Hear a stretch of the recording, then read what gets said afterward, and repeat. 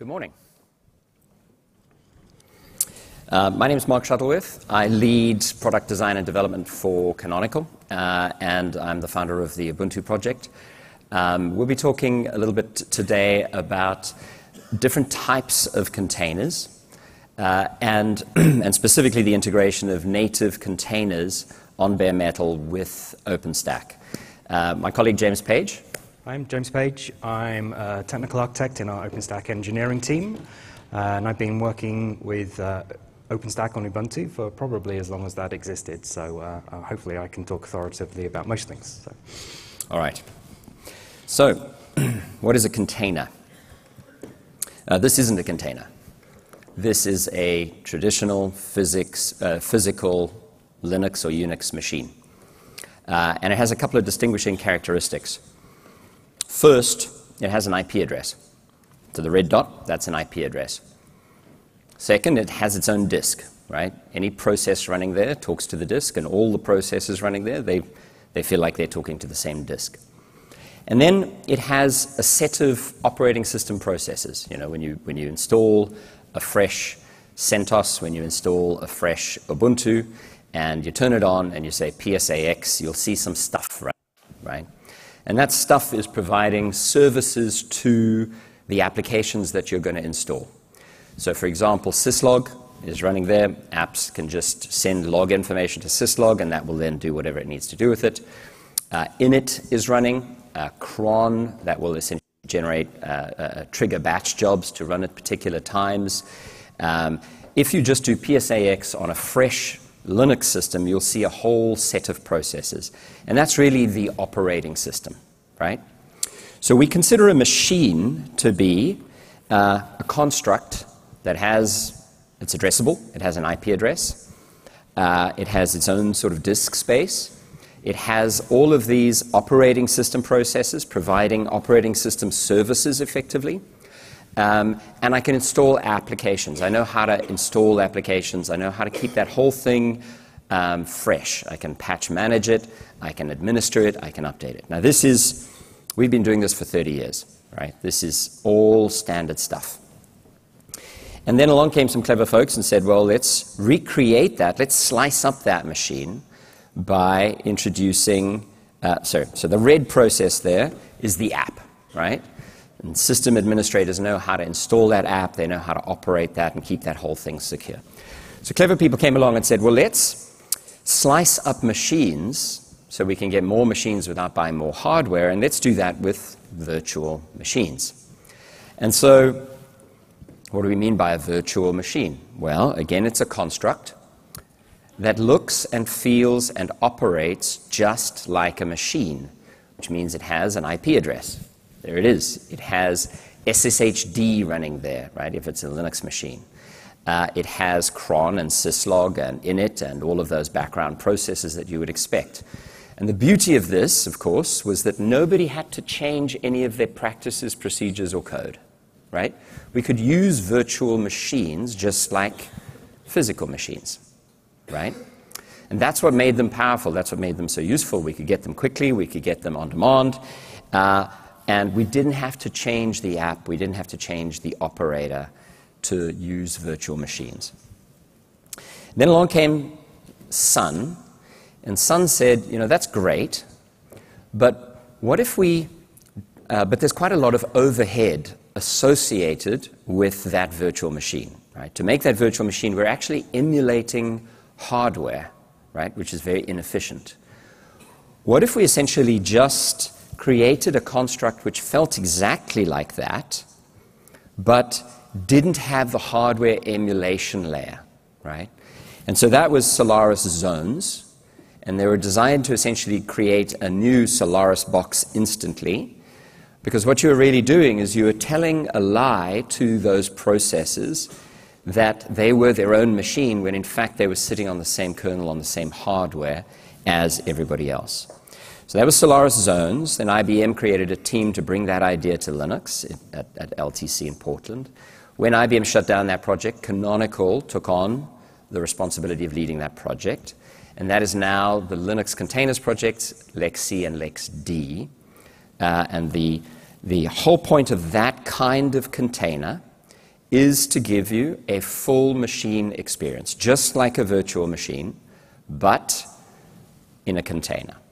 And so this is a kind of container that reproduces everything we know and are used to about operating machines, right? So this is a kind of container where all of those processes that you would expect when you boot up a machine, all of those processes are in that container. You've got syslog, you've got cron, you've got init, you've got a bunch of your, your, your, your journals, all of the background processes that make up the operating system are there.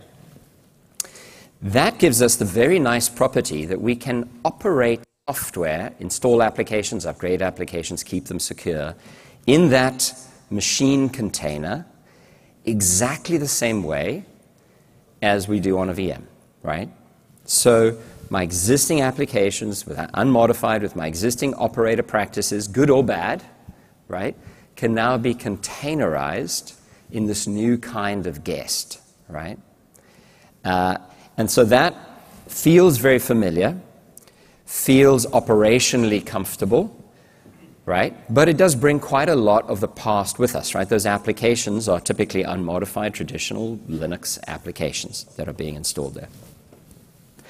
Then along came Docker, and Docker, has, Docker said, hey, why don't we, if we're running lots and lots and lots of these applications, and if they are essentially stateless, then we don't need all of those operating system processes in every container, right? We just need uh, MySQLD. We don't need syslog because we're not sending logs locally, we're sending logs over the network, right? So the Docker innovation, which we call process containers, is essentially to shrink the envelope of the container down to just a single application process. So you'll see this when you use Docker that one of the things, you, you specify a file system and then you specify a single command to run. And if you go into a Docker container and say, what processes are here, you will not see syslog, you'll not see SSHD, you'll not see um, cron, you'll not see um, the background processes of an operating system. You'll see the files, but you won't see the processes. So that has lots of interesting properties. It's a very useful new kind of way of thinking about software. But it does require that we operate differently. Because if you just put an app there that's expecting syslog, it's not going to find syslog, right? It does require that we think anew about how to operate that class of software. And that's why you see this, this fantastic explosion of innovation around Mesos, around Docker Data Center, around Kubernetes. These are essentially operating frameworks to replace all of those, all of the functions that those operating system processes used to provide for the application process. Does that make sense? Okay. So machine containers, LXD, and Docker containers, process containers, sit right next to each other, and in fact, you can run Docker inside machine containers. So Docker can sit on top of LXD quite comfortably. I can go into that machine container and run Docker there, and then I get a container within a container right? I get a process container inside a machine container. We'll look at that in a little bit. So, OpenStack. What is OpenStack? Simplistically, OpenStack is a spreadsheet for keeping track of guests, right? It, lets, it essentially lets me get VM sprawl under control. It lets me harness, it lets me keep track of which VMs or which guests, more appropriately, belong to who and what machine they're on and what IP addresses and disks and things are associated with them or what projects they're associated with. So OpenStack very comfortably sits underneath both KVM, as you know it today, right? where you have machines, virtual machines, and LXD, where you have container machines, because LXD container machines are designed to feel just like KVM guests, right? So the entire experience, you can understand, is, fits very naturally there, right? On the right-hand side, I've got the machine containers, LXD. I get bare metal performance and low latency, all the things people love about containers. On the right hand side, I get the isolation and the ability to have a different guest OS. I can put Windows in the virtual machines, but I can only put Linux in the, in, the, in the container machines effectively. But all of that can be managed by OpenStack. And it's very important when you're using abstraction layers that you're abstracting the right thing, right? So OpenStack makes a lot of assumptions about guests, that you can SSH to them, for example, that they have consoles. That those are all true of LXD, right? But they're not true of Docker, right? So I can't SSH to a Docker instance because SSH isn't there, right? What's there is MySQL or the database process or Mongo or whatever I put in the Docker process, right? So I need a different operating framework for all those process containers, whether it's Docker, Docker or Runc or Rocket or OSID, doesn't matter. And so Kubernetes is the one we'll touch on this morning, right? But there are, there are a range of them, and it's an area of great innovation at the moment. Okay, so that's a picture. That's a picture of um, the, a bit of the history and also the semantic differences between these kinds of containers.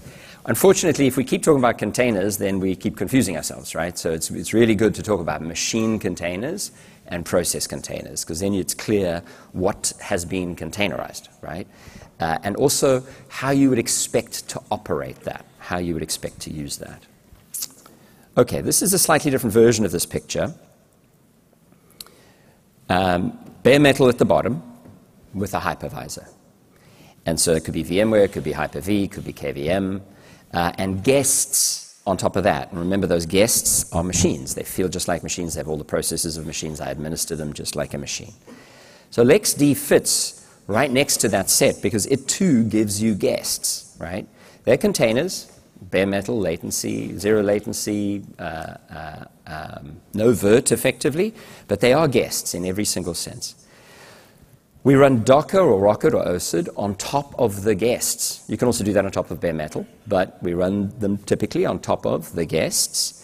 And that gives us all of these processes. Each process has an IP address, and it can have some disks associated with it. But fundamentally, think of it as a process with an IP address, right? And we can again run Docker, Rocket, OSID on all of those guests. We can run Docker or Rocket or OSID inside LXD and on top of KVM, et cetera, et cetera, right?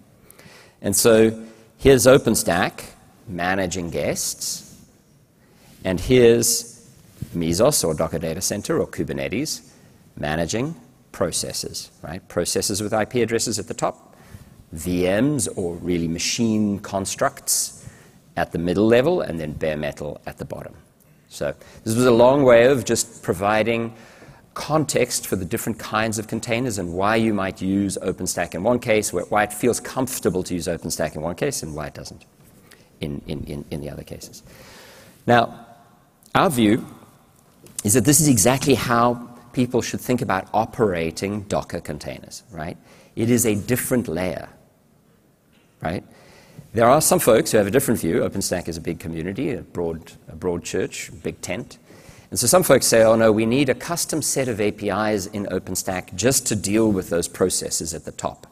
And so we have projects like Kuryr and Magnum and all sorts of things that at the OpenStack layer are trying to, trying to bring those processes into OpenStack. Bluntly, I think that's crazy, right? Bluntly, I think those APIs will never be adopted because they only exist in an OpenStack universe. Our view is that what you want is you want the best of breed process container layers, which are Docker Data Center, Kubernetes, Mesos, and others, things you can use on the public cloud, right, and on bare metal, and you want those to be available to you on OpenStack. And in fact, they are. There's no problem. You can run all of those things on top of OpenStack. Right? It's a different endpoint, it's a different API, but that actually works because typically, project by project, it's a different set of credentials and users typically. Right? And so this is really how we think functionally it's all going to work. Right? Where we want containers that look like machines, those will be integrated at the OpenStack layer. Where we want containers that look like processes, those will essentially be an application level construct, a level above. So that's how we'll talk about it today. James. Okay, thanks, Mark. So um, let's take a bit of time and, and dig into LXD itself. So LXD has been around probably two years or so in one form or another, and what it does is it provides a network addressable uh, RESTful API onto the underlying Linux container infrastructure on a single server. So like I said, it's network addressable. It's a nice, simple AI. It's been built from the ground up to be easy to consume, easy to integrate, and, and very, very easy to use. So if you uh, install Ubuntu 16.04 and you get LXD installed by default, uh, installed by default, and the LXC commands talk directly to that API to uh, spin up um, containers, manage images, managing, manage the underlying network on the individual host, manage the storage. All those semantics that a hypervisor brings are represented in that LXD API and are designed to be super, super easy to consume. LXD is designed to be really, really fast. So the, the time to spin up a container is seconds. So the, the, the time from saying uh, LXD launch to, to getting something you can log into um, is a matter of seconds. So it's designed to be super fast. And we're designed to be super secure as well. So all, all the processes in a, a LXD managed container are not running as root. So once you logged into the container, you, you have the normal sudo commands, you have root within the container, but all those processes are wrapped up in an unprivileged user on the host. So God forbid there was a breakout from the container, all you've got is a, a, an unprivileged user on the host. So we've, we've, we've put a lot of security wrap around the actual container itself to make sure that it is, it is very, very secure.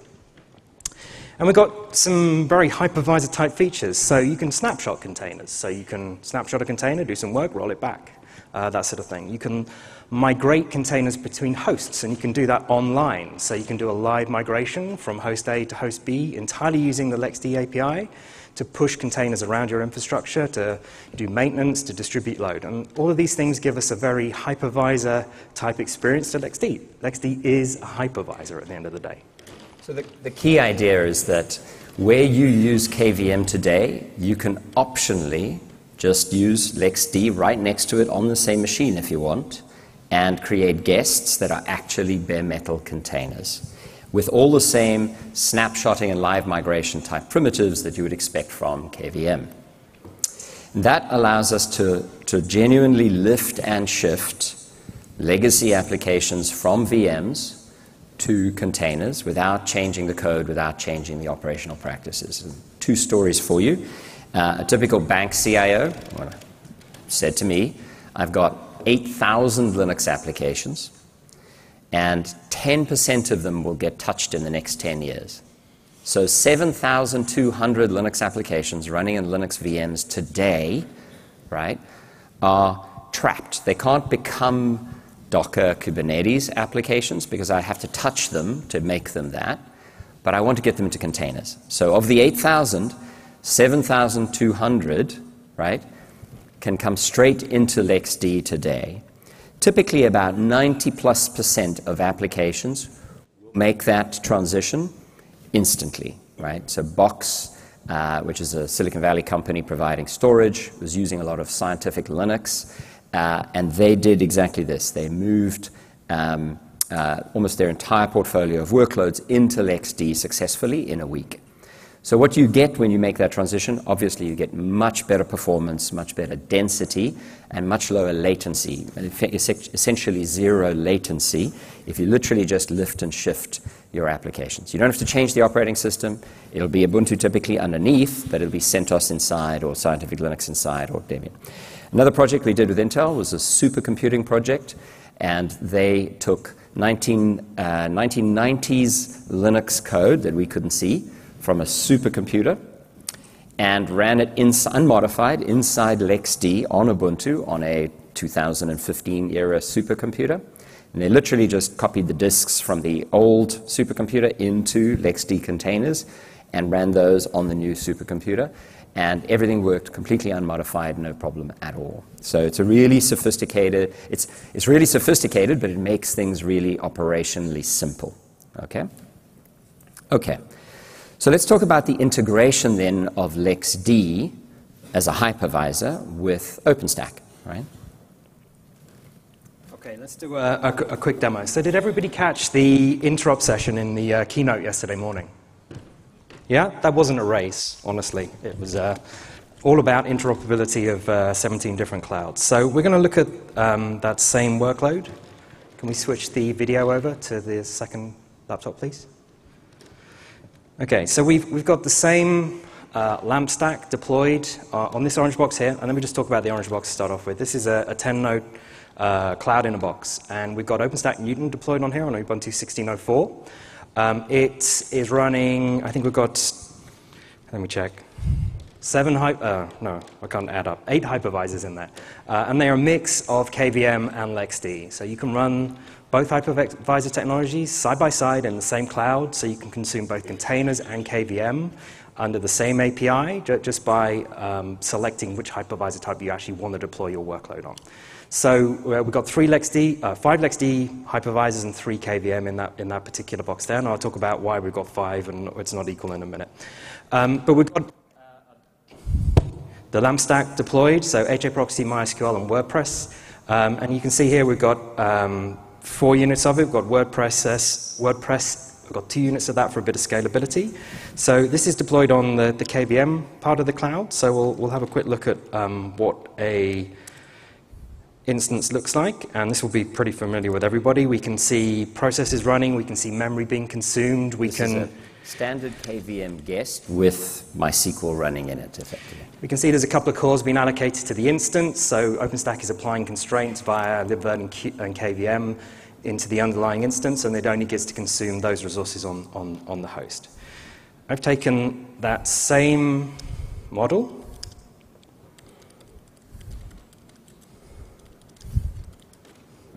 And I've deployed exactly the same thing on the LXD hypervisors in the cloud. So I've used exactly the same tooling, which is Juju here, and I've taken the same model and I put it down on both parts of the cloud in exactly the same way. All, so, all we changed was the machine type that we asked for from OpenStack, right? So it's just a different um, instance type, effectively, see, from the same OpenStack cloud.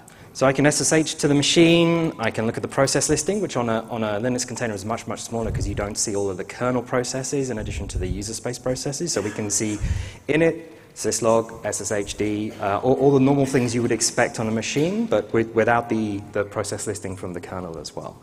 Um, we can so, see... So just, as, just, does that look familiar? Right?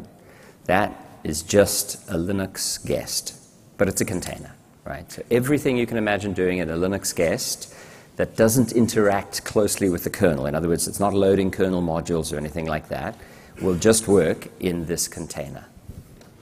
And, and the applications in the container can see how much CPU they've got. They can see it's a two-core machine, and we can see that it's got exactly the same one gig memory allocation as the KVM instance had. So lift and shift, it entirely works. You can move the majority of your KVM workloads directly to LXD using exactly the same tooling as you're using against KVM today. You can do exactly the same thing with LXD.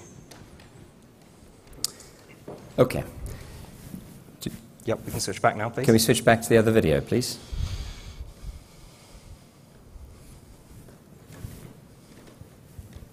Can we switch video feeds, please? Thank you. So that's the, that is that OpenStack. That's that OpenStack deployed and modeled on that machine with, with Juju. You'll be, many of you will be familiar with using Juju to, to um, operate OpenStack. Um, and you can see that there are two hypervisors deployed effectively, Nova Compute and Nova LXD, um, which are these two boxes over here. Okay. This is the underlying view. That is that physical box in MAAS so those are the physical nodes, and you can see they're just running the standard Ubuntu operating system, right? There's nothing fancy over there. And this is the horizon, I believe, for that OpenStack. So we can go in and have a look.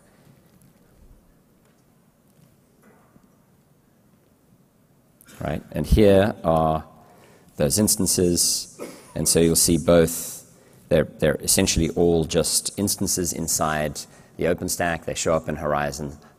Half of them are LXD instances, LXD guests, containers running at bare metal speed, and half of them are virtualized guests, KVM guests, running at virtualized speeds. Um, and we should launch, launch some instances. We can, uh, can we just switch to the admin tab and look at the hypervisor overview? Uh, I think it's the hypervisors one. There we go. So th this view gives us the view of the hypervisors running in this cloud, and you can see that um, three of them are registering as QEMU, and the other five are running as uh, uh, LXD. So we can uh, see via the, the web UI for OpenStack the, the different hypervisor types that we've got configured in this cloud. And you can see the current workload on each of those hypervisors as well, represented in exactly the same way between the two different hypervisors that we're running. So this is now standard best practice for us. We commonly deploy OpenStack with a mix of uh, KVM and LXD, and then expose different instance types so that the users of that cloud can essentially choose when they're going to get a container uh, or, um, or, when they're going to get a physical machine. Okay, um, before we move on to Kubernetes, I think we want to talk a little bit about how, that, how that feels operationally. Okay, so Operationally, it feels exactly like using OpenStack, surprisingly. So all the things you do on your KVM cloud today, you can do with LXD as well. Boot, reboot, stop, delete, resize, rescue, add floating IPs. LXD integrates into the same underlying SDN technologies as a KVM instance does. So you can use VXLAN, GRE, whatever you want in terms of uh, your overlay networking or your, you know, mapping things directly into the underlying provider networks in your data center. All of that just works. So it, from a tooling perspective, if you're using the OpenStack API to manage KVM now, you can use the OpenStack API to manage LXD now as well. When I talk to people about what they want from containers, there's a, there's a very wide spectrum of, of opinions. But I'd say the, the first step, the bulk majority first step, is simply this. I want to be able to get better performance and density out of my OpenStack. Right? I want to be able to run the same stuff the same, same way just with better performance and density.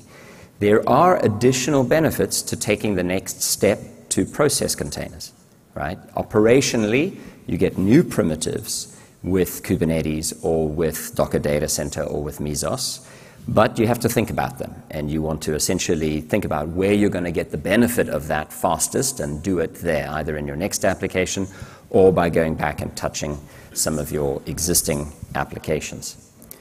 Um, a lot of the magic of LXD, a lot of the work that we do at Canonical on LXD, is providing operations safety guidelines, uh, uh, uh, safety rails effectively around these containers. Because those processes are running on bare metal, plausibly they can consume all the resources of the machine. So things like um, precise allocation of quotas, number of cores, amount of RAM, amount of disk, IOPS and so on. That's been a key, a key focus for the LXD team, right? They're really building a hypervisor, and hypervisors essentially provide bounds on the resource utilization. But the great story here is we have all the mechanisms of the Linux kernel to build on, right? We're allocating real CPU time, and so we can allocate, we can bound that and QoS that in exactly the same way with, with decades of benefit of kernel QoS capabilities, right? Anything you can do to a single process under Linux anywhere in the world in terms of quality of service, in terms of allocation of number of milliseconds of time of, uh, out of one second to a particular process, or the biggest delay in terms of real time response before a process gets time, or in terms of the total amount of RAM or IOPS or, or, or CPU time that can go to a process. All of that can be applied cleanly and perfectly to LXD guests. So, for example, people doing transcoding, real time uh, applications, high performance computing, really now have an incredibly precise hypervisor, a hypervisor that has properties unlike anything ESX or KVM can deliver. Um, and that means that LXD is really taking off in places where people really care about either control, like I want to control the amount of latency or jitter, or performance, right? I just want to get all the bare metal performance. Um, and the ultimate expression of that is essentially people saying, hey, this is a much better um, way to allocate a machine, a physical machine to somebody through OpenStack than Ironic, right?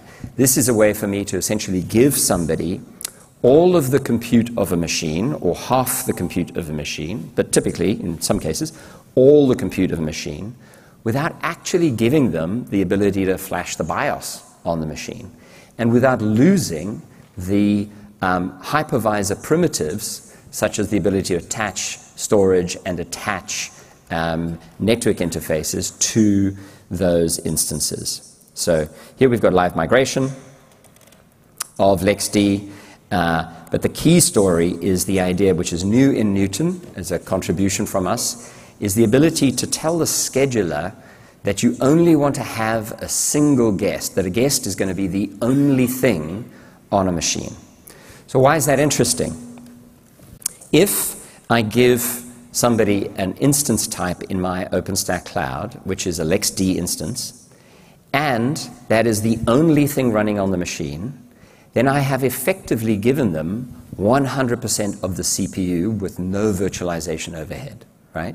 But I can still live migrate that to another machine. So there are a lot of hosting companies or uh, big data uh, specialist companies or analytics or data science or machine learning type companies who find that this is the best way for them to essentially um, sell full physical machines by the hour, right, or the minute, while still preserving the ability to attach storage dynamically, attach these things to software defined networks, and live migrate them in cases where they have to do physical ma- maintenance on the machines. And then, of course, the other benefit is, is if those are untrusted users, th- that container cannot flash the BIOS on the machine. It gets all the CPU, it gets all the RAM, it gets all the network, it gets all the, the disk capability, but it doesn't get access to the parts of the kernel that would let it flash the BIOS operational perspective, that's a really powerful story. And, and, so if you think if you're doing this on bare metal, as a machine comes back from a cloud user, you have to cleanse it. You have to reflash the BIOS, you have to scrub out all the things that user may have done. And you have to deal with failures during provisioning, that sort of stuff as well with this. You put the server up, you put Nova LXD on it, and that is permanently available as a fixture in your cloud for a tenant consume, to consume as a complete compute resource. Okay. So benchmarking. Okay, so um, let's have a look at um, how bare metal, LXD, Nova LXD, and Nova KVM stack up. So I, have completely stolen this data from one of my colleagues' presentation uh, on, on, on Tuesday um, about uh, big data and machine learning. So th this benchmark is uh, driven by Spark, and it does anomaly detection of credit card fraud. So it does uh, modeling and anomaly analysis to detect when, uh, say, someone goes to Spain from the US and buys a laptop or what, whatever it might be. So we looked at that, and we looked at the time taken to complete uh, both the, the modeling and then the, the analysis of a data set set. And the difference between bare metal and Nova LXD running on an exclusive machine, so we're giving it the complete power of a single machine, was about 10%. And that difference, we think, is probably to do with networking. Um, the, the Nova LXD instance was connected to a virtual tenant network that was not using jumbo frames, and it's quite a data-intensive process. We think with some further tuning, we can squeeze that even further. With KVM, the difference was, was considerable. It was almost twice as long on KVM as it was on, on bare metal. It's doing a lot of I.O., it's doing a lot of disk, it's doing a lot of networking, and it just took longer to do on KVM because of the overheads of that. Same again, same story with Terasort, the uh, recognized benchmark for, for uh, your uh, Hadoop deployment. Again, about 10% difference between bare metal and LXD. Uh, a little bit further away with KVM here, we actually saw a lot of uh, a number of errors with parts of the Terasort under KVM. Actually, I think this one is this one is sub two percent, and it's uh, because there's less networking here, right? So you're yeah. moving less traffic over the network. Yeah. With Terasort, it's really focused on compute and disk um, access as your as your bottlenecks, and there's no overhead there effectively from from LXD. So if we, if we look, at the, look at a different dimension, we're looking at latency here using Cassandra, which is lots and lots of very small writes from, from lots and lots of clients. Uh, on LXD, we saw a very low latency figure, 30 milliseconds, whereas on the same stack running on KVM, uh, that was uh, near 110 milliseconds average, average writes latency. And that translates directly into throughput on your Cassandra cluster at the end day as well. Right. This is also super relevant for people doing um, time sensitive transcoding or time sensitive applications or high performance computing, where you need all of the nodes to effectively um, complete in a predictable amount of time so that you can move on to the next stage of your calculation. Okay, that's the, through, the, the, the, counter throughput figure for the, exactly the same test. So bigger buzz there are better. Okay. So OpenStack Newton has full integration of Nova with LXD. It's worth upgrading to Newton for exactly that feature. It's an amazing capability, and it really changes um, the relationship that you have with your users. You know, they, they, they notice it immediately, right? It's an incredible shift in performance um, and, and the, the, the, sort of the, the responsiveness of the cloud to them, right? We don't think we launched any instances, but they launch really, really fast. If, if we have time, we'll come back to that. Okay, so that's machine containers. They look, feel, operate just like machines. If your app is not fiddling with the kernel, it will go straight into LXD and never know the difference, right? For telcos, networking apps often do work in the kernel, but everything else, typically, doesn't really care what kernel it's on and doesn't have specific interactions with the kernel, right? It just needs a Linux kernel. Um, so Kubernetes. Now, Kubernetes is, is one of the three major ways to, to coordinate those process containers sitting at the top. And we want to talk just briefly about that. I will be doing a, an in-depth look at Kubernetes and at operating Kubernetes across public and private infrastructure, um, uh, virtualized and bare metal uh, later on today, but just very, very briefly. So again, our view is that process containers are a completely different thing. Uh, they don't really belong in the infrastructure as a service, which is all virtual machines, virtual disks, virtual networks. They're essentially a layer on top. And you want to give work groups, teams, projects the ability to get Kubernetes on demand for a project, to get the version of Kubernetes that they want on demand for a project. And so this is, um, this is upstream Kubernetes. This is again modeled and operated with Juju. Those charms, those Juju charms, are upstream in the Kubernetes repository on GitHub. And this, um, this model can be built trivially on any kind of machine oriented substrate that you might have VMware, bare metal, OpenStack, uh, or the various public clouds. MAAS there is the physical cloud effectively, so that's showing that I can build Kubernetes on bare metal. Um, and I think we have, let's go have a look. So, on top of this cloud, so uh, on top of those clouds, we had a, a bunch of uh, of instances. Um, and what that is that Kubernetes, right, modeled. I can show the instances here. These are now KVM, KVM instances on that OpenStack cloud. And on those KVM instances, we have built a model of Kubernetes. So here's the service model. This is the service view, effectively, the different applications. This is the machine view. This is looking from the bottom up and saying, what virtual machines do I have? Kubernetes is installed on those, and which, uh, which services essentially are in which containers. So um, EasyRSA is a, is a key management service effectively. It'll distribute keys between those various things. This um, um, deployment of Kubernetes is using, those are three virtual machines uh, providing etcd, uh, there's Logstash and Kibana there for, for monitoring. Uh, I'll show you that in a second. Um, we've got a load balancing um, agent there, and then the Kubernetes worker and masters. Um, if I go and have a look, this is the Kubernetes dashboard. So here you see essentially the workload, workloads that have been deployed. Now, this, these are process containers and clusters of process containers that have been deployed onto that Kubernetes. So I used, so from the bottom up, MAAS, modeling physical machines, Juju and Charms of OpenStack, modeling an OpenStack cloud on bare metal machines with LXD and KVM as hypervisors. Then again, Juju on top of the KVM guests, modeling Kubernetes. And now Kubernetes modeling in process containers, Nginx, and various other um, services.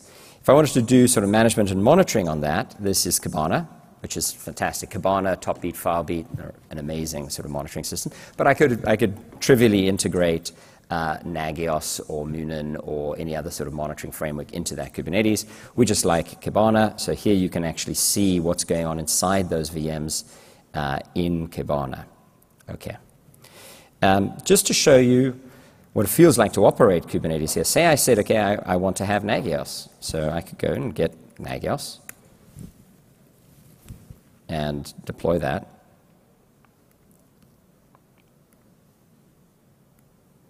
And then I need an agent.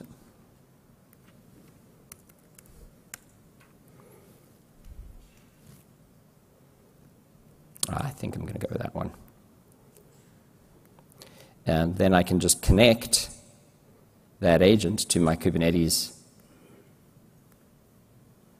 machines and to ah, monitors. Top one, yeah.